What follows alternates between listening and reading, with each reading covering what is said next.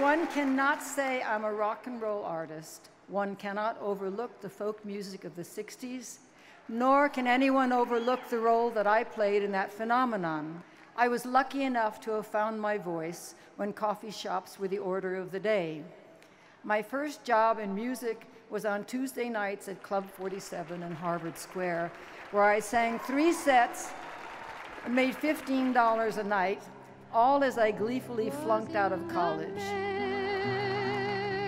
month of May, when green buds all were swelling, sweet William on his deathbed lay for a love of Barbary Allen.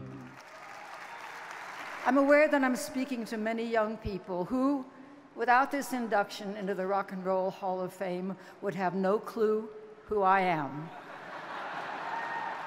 My granddaughter had no clue who I was